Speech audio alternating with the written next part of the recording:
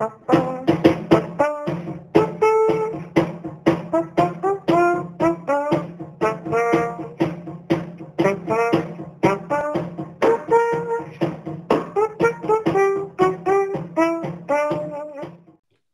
Joyce, then you will be introducing our speaker. Yes, I'm Yeah, delighted please. to. Take it on. Thank you, Elias. Um, I'm delighted to introduce my good friend Barbara Adler. Uh, Barbara is still camped out in Florida, but she is a Brookline person, and I've uh, had the pleasure of knowing her now for several years. I met her through Congregation Kehillath Israel, and we're both in the same um, book club. So we meet with a professional women's book club once a month, which is always fun. And Barbara and I have had similar journeys uh, through the technology world. Uh, as women of our age, uh, all have sort of similar experiences. But uh, Barbara's a particularly good speaker, and I thought you would enjoy hearing about her own perspective on women in technology. So, well, Great. Thank you, Joyce. I'm going to share my screen in a minute, but um, you need to know a couple of things first. One, Joyce is a far better technologist than I am. I'm much more excitable, and and you'll see as the presentation winds around, um, she's she's far far calmer and normal than I am. As a speaker, I prepared some photographs and things for you to look at. But because we're a small group, feel free to ask anything or interrupt at any point because I can talk for hours. Uh, and you don't want to listen to that. So feel free to, to ask any questions or whatever you'd like. I'm going to put up my screen. And as you can see, I'm going to talk about women in technology. Okay. And see, I spelled everything correctly, which proves I'm a great technologist. Um, however, as Joyce said, we are, Joyce and I are very, very lucky because the idea of women in technology during our lifetime and our career time has exploded. And let's let's start with making sure that we're talking about the same things. You know, science explores new knowledge through observation, experiments. It's very rigorous. But technology is the application of the scientific knowledge for various purposes. And there, as you can see from this slide, um, really technology is far more interesting if you want to know the truth. Um, it's less, it's less rigorous and more rigorous at the same time. Here is uh, a slide of the moon landing control room in 1969. Notice the arrow. You can see what it is. She was it.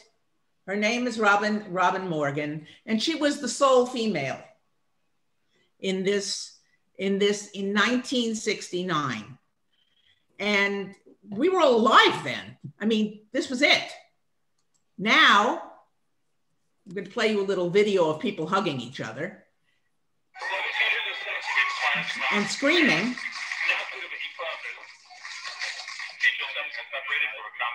Due to facultation as expected. We're standing by to prime the MLE engines in preparation for hot. We're down to 90 meters per second at an altitude of 6.5 kilometers descending.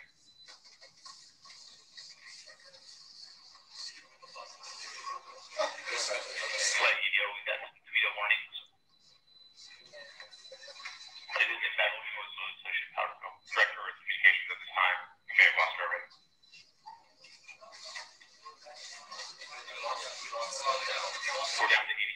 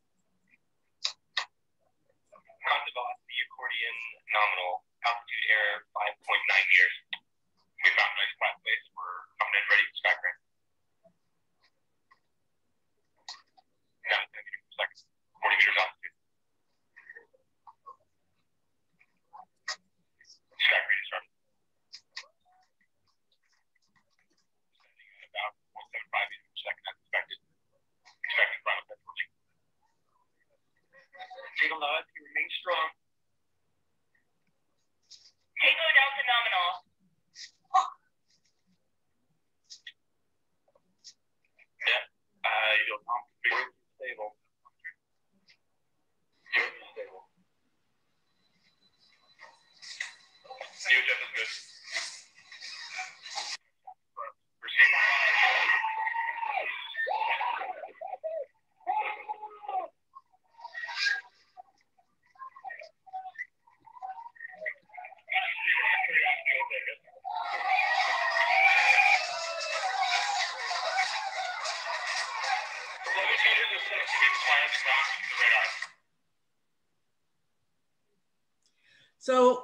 See things have changed, but interestingly, I found this piece. Um, Swati Mohan um, was explaining what the, the, the motion, what the, the rover is going to do. And she's the lead. She is the lead. And that I found to be very interesting, in addition to the people screaming, yelling, and, and generally carrying on. So women in technology in the last 50 years, they've really had, we've had like this explosion. And I wanted to introduce you to um, six favorites, and there are many, many, many more. But you'll notice that from the dates, they're during, most of them are during our lifetimes. Except for Ada Lovelace, who I admire, and I'll show you why in a moment. Ada, Ada Lovelace looked like this, and obviously she was a pretty woman. Um, but what she did was she said she figured out how an, the analytical uh, engine would work. She was a mathematician, and the idea is you it can do whatever we know how to do. It can it it can't it can follow analysis, but it, it can't anticipate anything. And its its province is to assist us in making um, clear things that we are already acquainted with. In other words, it speeds things up, but it, it doesn't anticipate anything. And she is, is uh, recognized as the, as the first computer programmer because she really understood what a program is. And in many ways, what a computer is, even though she'd never seen one and couldn't, couldn't think about it. Okay, we'll go to Edith Clarke. And Edith, I like Edith Clarke because she looks like my mother. I mean, she looks like your mother. Um, she was the first woman to earn a master's degree in electrical engineering, but nobody would hire her.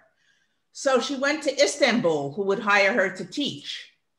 But she felt wasted. So she came back as a, human computer for General Electric. And what she did was to figure out how to send power through the electrical lines and basically made transcontinental telephone communication possible. And what I also like about her is that she became the first professional female electrical engineer. And she looks like your mother, my mother, or anybody. This is this is what you know, Saint Saint Grace, frankly. Um, except she wasn't, her personality was not like saint like. She was more crisp. But she she was the queen of software. She she during her her career, I might add, she was a naval admiral. She worked with she um, worked on UNIVAC one, which was the first commercial computer, and she created the first compiler. And this is a picture of her in her, I guess, mid years. Later, she was a little kind of squashed, very um, officer like admiral because she was in in the for the navy because the navy became was the, were the ones who developed computers um, and she invented FLOW-MATIC, which helped spark the development of COBOL, which was the, the Navy's standard operating language and later became the programming language of business. Uh, Joyce actually knew Grace Hopper. She met her. And again, we were very lucky that in our lifetime, we met amazing people. This is Radia Perlman. And Radia Perlman is probably 70 now. So you, she's a nice lady. She looks like every other nice lady, but she's smart. And she, what she did made it possible for the internet to exist. I mean, her idea about the, the STP made it possible for you to, to have an internet from my bill, well, to talk to you. I could, I'm in Florida. If we didn't have the internet, wouldn't happen. Um, and she's, you know, she's still here and she looks like everybody's, um, every, everybody else. This is a lady that is no longer here, um, but she was the first person that she and Irving Tang were the first persons to earn a doctorate in computer science in the United States. And the, the interesting thing is we don't we don't think about be people in the religious life as being able to be technologists, but of course they can. Um, it doesn't stop you, and it might help you concentrate. Um, but she certainly, I, I like her very much because she had that attitude. You know, being in the religious life doesn't mean that you cannot be a mathematician and that you cannot figure out how computers work. Um, I thought I, I like her particularly. And then I'm going to show you Katherine Coleman Goble Johnson, who you may recognize. If you saw the movie Hidden Figures, here she is.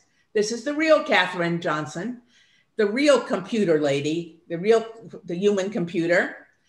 And in Hidden Figures, you'll see she, she is shown as being um, calculating trajectories, launch windows, and when when the computing group couldn't do it, she could do it, and she you know did it on the fly when it was desperate and the machine couldn't do it properly. She did it, and she gave them the, the correct tra trajectories and insertion points for the for the John Glenn for the Apollo lunar module, and you know she unfortunately died last last year, but she was she worked on plans for missions to Mars, and she and her contemporaries did fantastic things, just fantastic things. And if you have not seen Hidden Figures, please um, make it a point to do that because um, it's a wonderful, wonderful movie.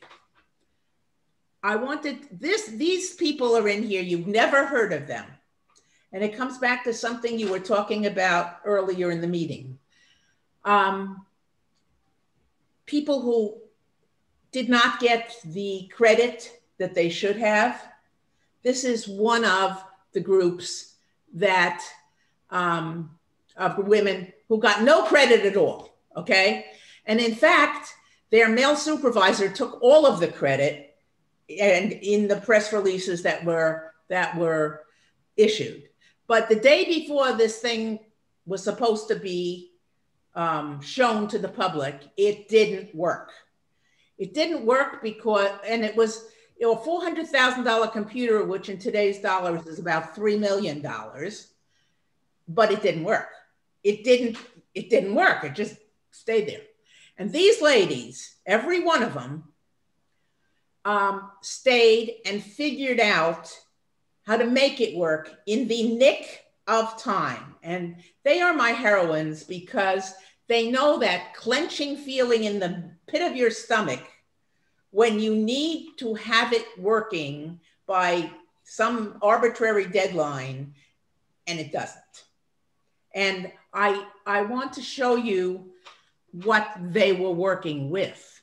This it was a room sized computer with 80,000 vacuum uh, tubes and hand soldered connections, and it didn't work. Something was wrong with one of the vacuum tubes or one of the connections, but whatever it was wrong with it, it didn't work.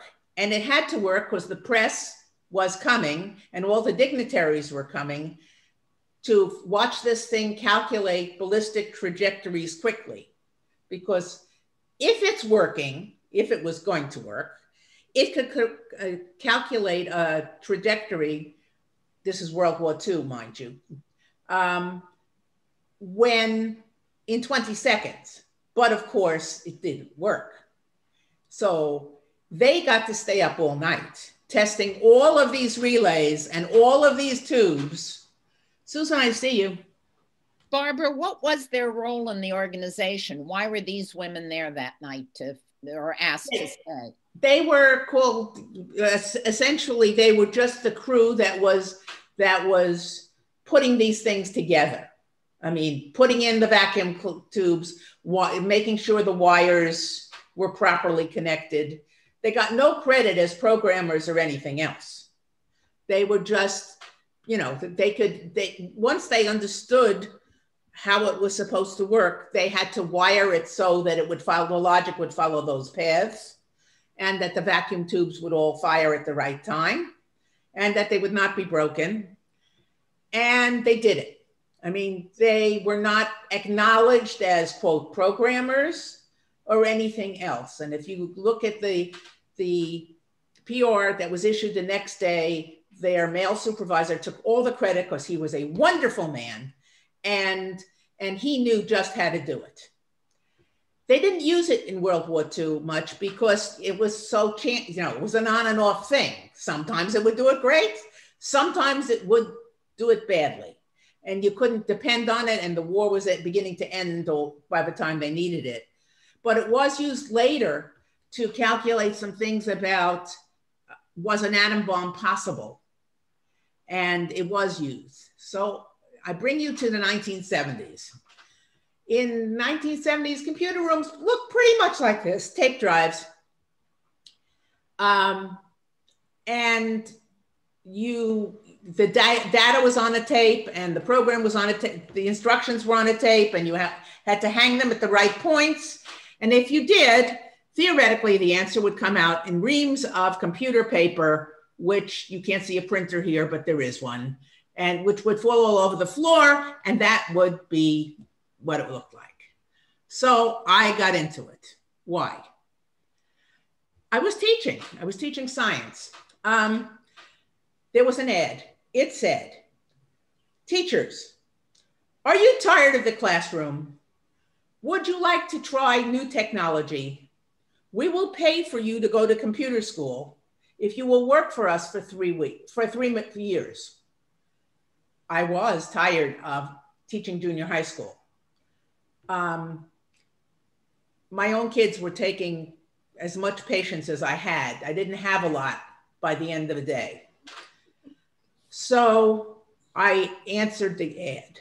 And in those, in 19 late 70s, you remember there were no computer science majors because there's no computer science department because they had desperately short of programmers and you had to come through a math department. And not everybody wants to be a mathematician. Some can, some can't. Frankly, I'm a can't. But at any rate, so I went and I, um, I, I answered the ad, and I this nice man explained to me what Ada Lovelace had figured out, which is computers cannot take the next step. They don't analyze anything and they don't think for themselves in any way. You have to tell it exactly what to do. And if you don't, it stops. And if you tell it to do something either physiologically or anatomically impossible, it stops. And you have so you have to understand every step in the process before you can program a computer or ask it to do anything. At any rate, um, However, it was kind of intriguing. I have to say that. There was nobody, it was nothing happening that wasn't intriguing. So I went to computer school. And may I just say that it was the hardest thing I've ever done. And I already had several um, graduate degrees. It's much harder than going to graduate school because you when programming is really about thinking about things correctly once you can think about it correctly the rest is just details in in many ways um, but i did go to computer school and we did remember this was old timey. We didn't even have a compiler that you could do online the way we do today. You had to write out your program on cardstock. You punched card stock, one card at a time, and you numbered it. And then when you'd written your whole program of what to do, you dropped it in a card reader, a compiler would read it and say to you, wrong, and give you your card back, give you your cards back. It would not have the decency to tell you what was wrong with it. No, it just said this won't work and gave it back.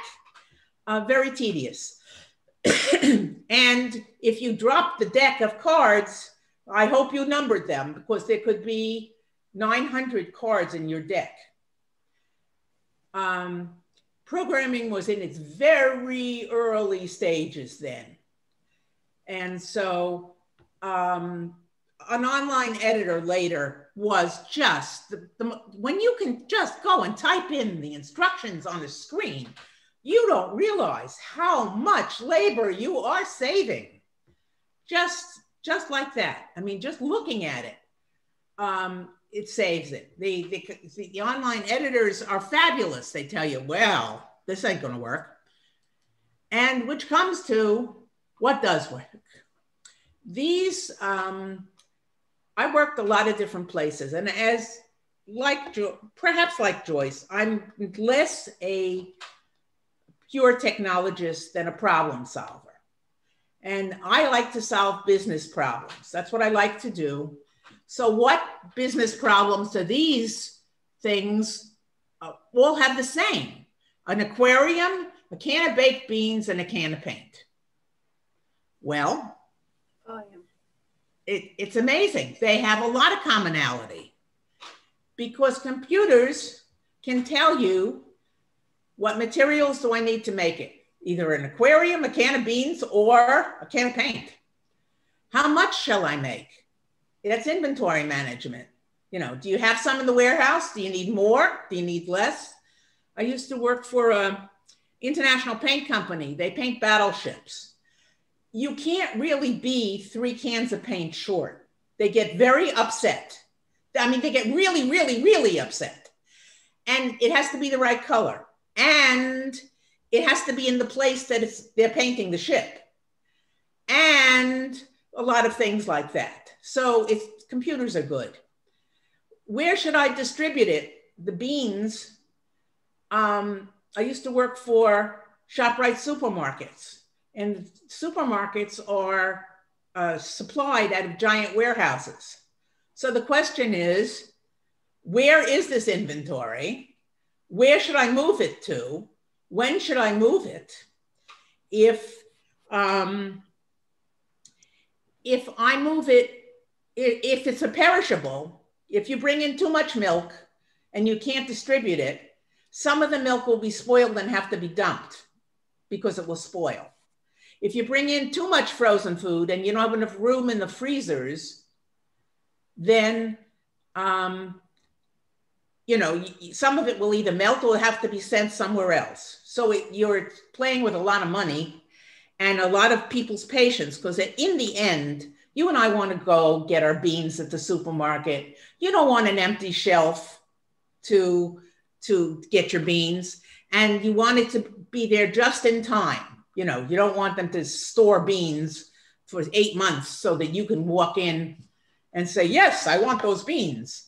Um, it's a lot of figuring out when they should be uh, shipped and when they should be received and I don't know, here in Florida, there are huge distribution centers. I'm sure there are some in Massachusetts. I don't happen to know where they are, though I know Amazon has a couple.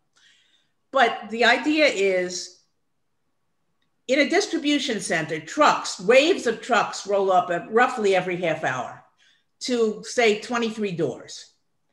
By those 23 doors have to be all the, the pallets of goods for a given a given um, distribution point. They have to be ready and waiting because they have to be loaded on the trucks as fast as possible. And the truck wants to leave to go to distribute. And the next set of trucks is going to move in.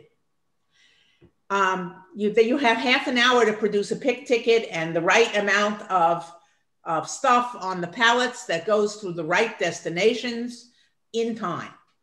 It's very, um, I find it extremely interesting work.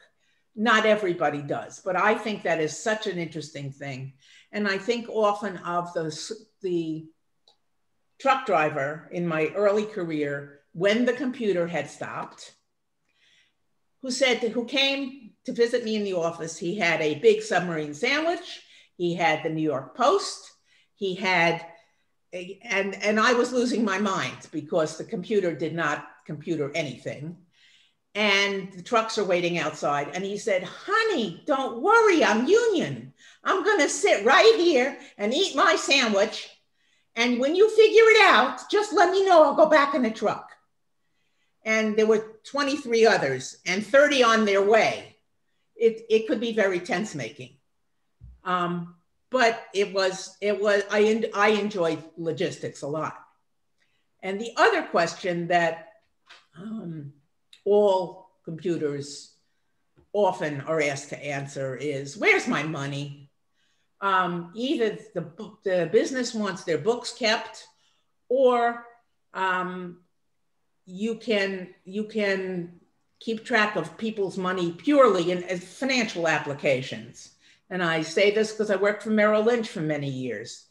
And if you had a 401k during those years, Every night we valued every single one of your trades and got your stuff moved from account wherever you bought it to your account or from your account to somewhere else. And then we valued your account. And it's just so that you in the morning can go on the computer and say, Where's my money? And it will be right and it will be settled. And you need to know. And you're not going to accept any excuses about, we don't know, it didn't settle where's my money is a really good question. Um, a really, really good question. So now everybody in technology has some things that are in common. Most of the time, the programs don't work.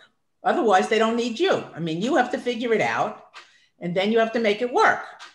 But most of 80%, 98% of the time, it doesn't work. That's why you're there. You will learn to curse like a sailor. Um, usually, you start, you, I start, um, Joyce's uh, process may be a little different. I start by asking the program, What's wrong with you? How do you feel about this?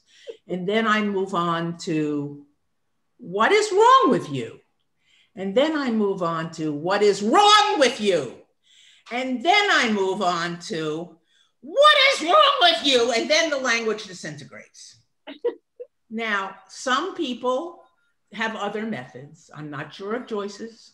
I had a friend who would sing opera as she worked on these things. And if she was moving from lovely little country melodies, it would be fine. And then it would get a little louder. And if she was doing Pagliacci, if she's moving into Wagner, you've got real problems. And it, the louder it got, you knew that it was bad. But everybody has their own technology and their own technique. Um, the reason they're called bugs, because they're really annoying and you don't know where they're going to be. And you have to debug everything. And then, if after great effort. Your program works. You have tested it. You have done everything. The client will immediately want something else, and the program has to be changed immediately. And that's that's the nature of what they do. Um, this is, and the other thing is, you will learn to drink lots and lots and lots of coffee. It's good for your brain, and theoretically, keep you up, and maybe you'll have an idea. Who knows? um, in women in technology have some special special hazards. We tend to speak in a lighter voice so that if, they, if it's a noisy meeting, they can't hear you. Really, they, they're all yelling. They often can't hear you. you have to work it out how to be heard. You'll often be confused with the coffee lady. And people, as you walk into unknown spaces, people will ask you for muffins and coffee. It's just a thing. Um, however, you know, I know I know women engineers who used to wear hard hats in buildings just so they wouldn't be confused with the coffee lady. Um, you will often have childcare responsibilities. And the nursery school pickup waits for no man. You have got to be there to pick up your kid or to put your kid in or something.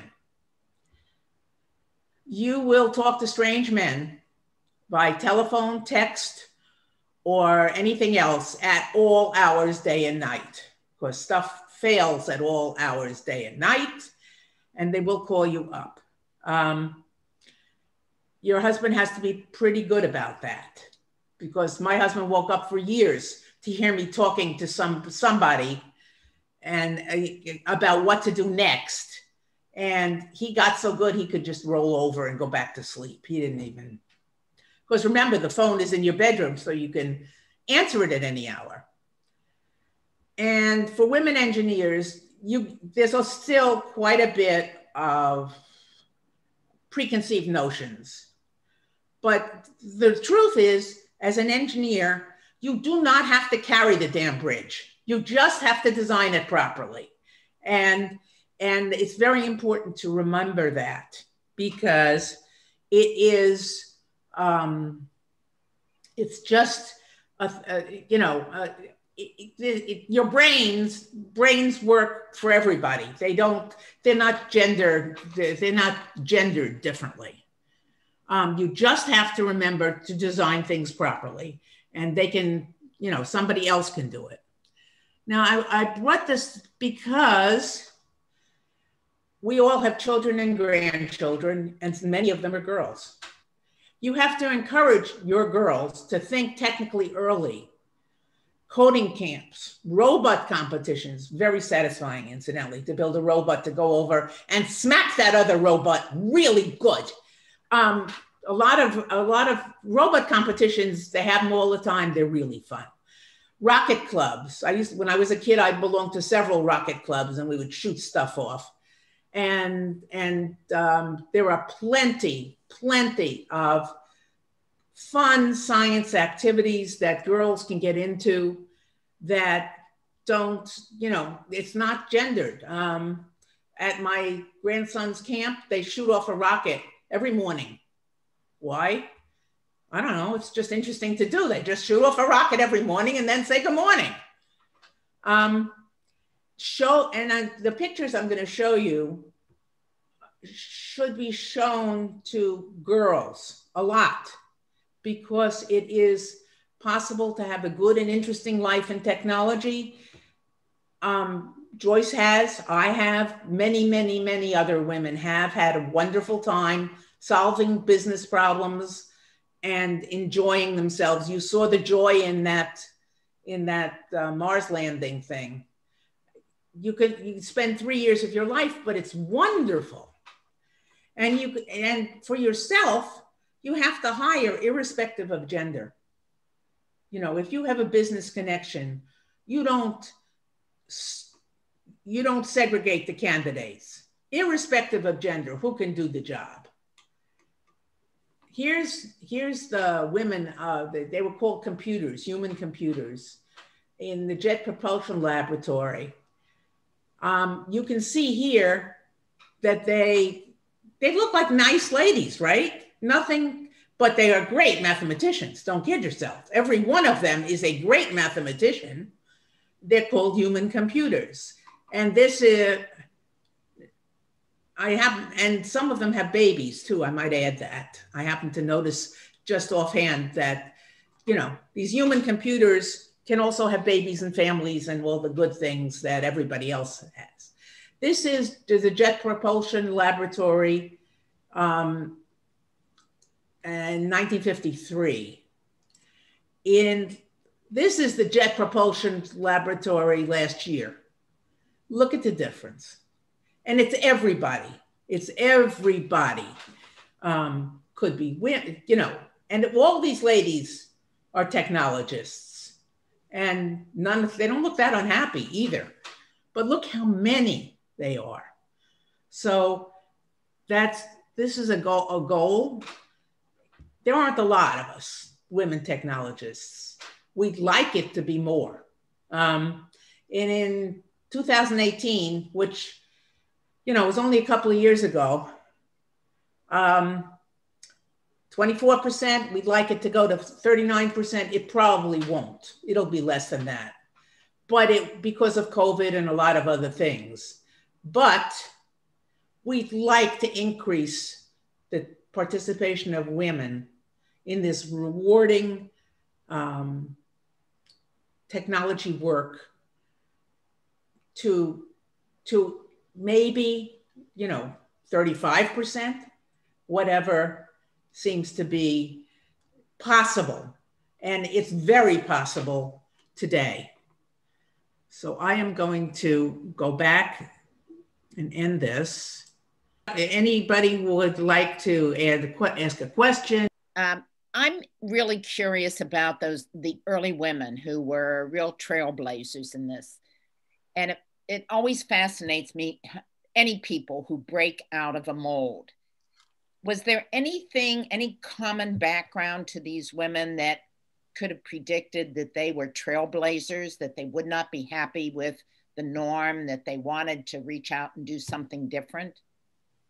What encouraged these women to step outside the boundaries of the normal projected life I don't know of any in particular, except except the things you like and the things you don't like.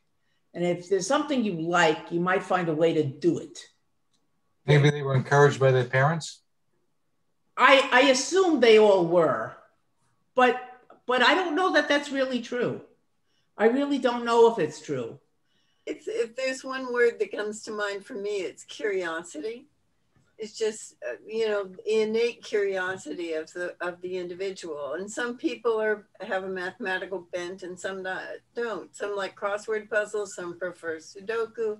So there's a sort of natural bent that will guide you into it. But uh, certainly it, for some of those women in 1953 there were jobs available to do these mathematical calculations and only certain people would be drawn to that Arnie, I think you had a question too.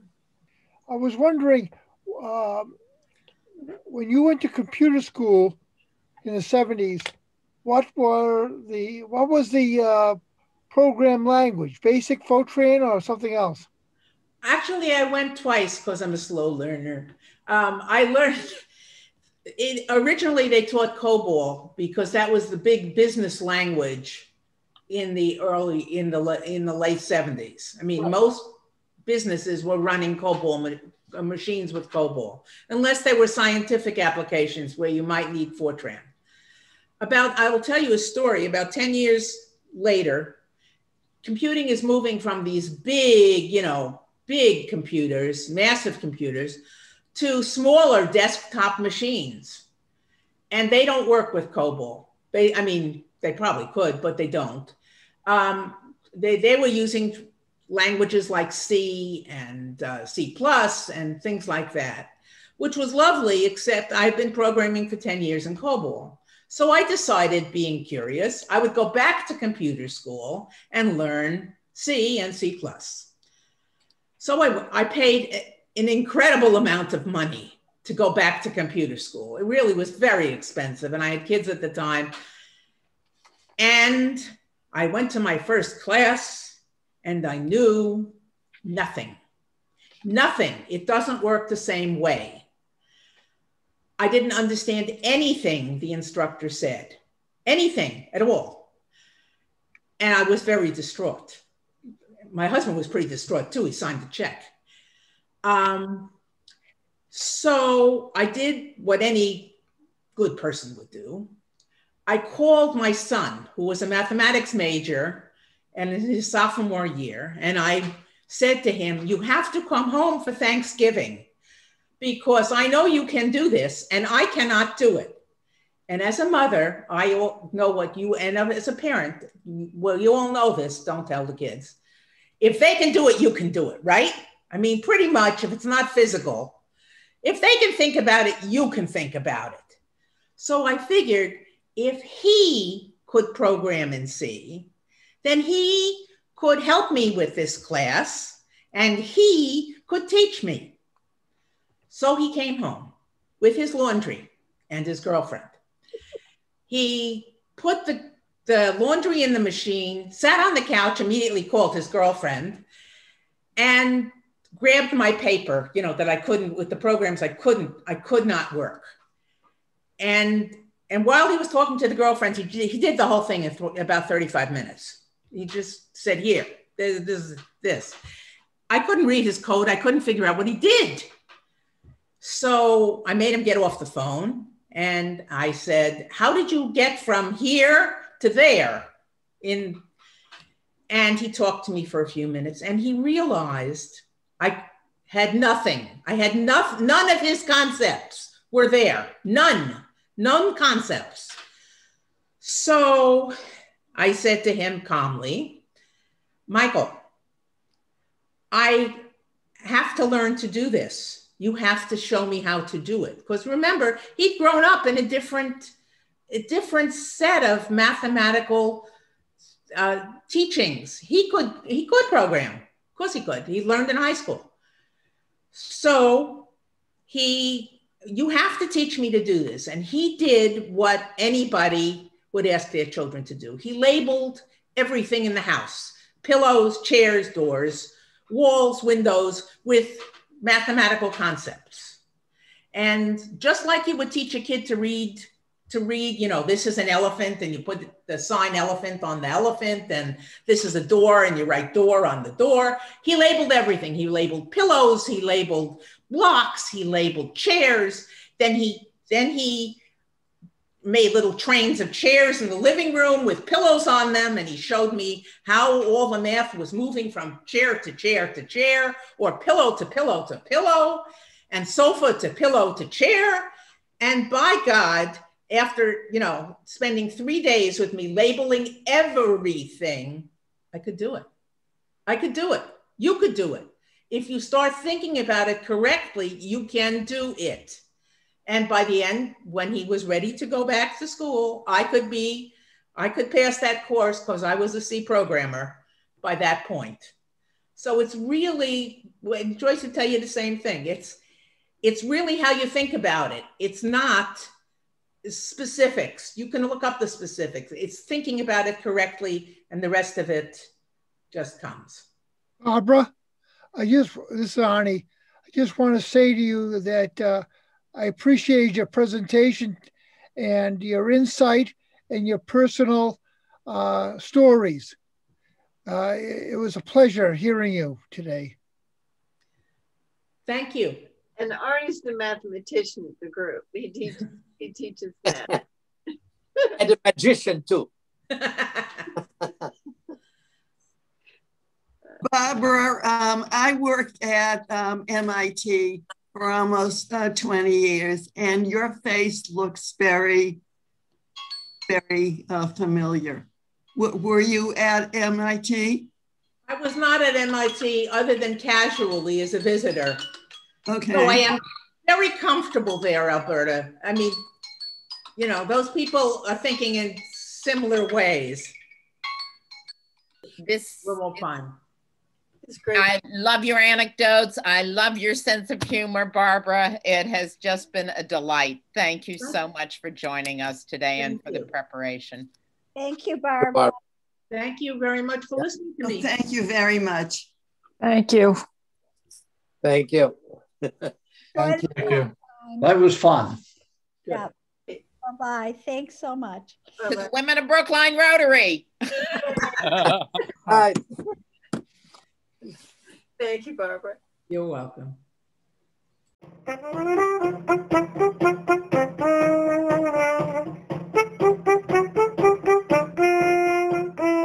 you.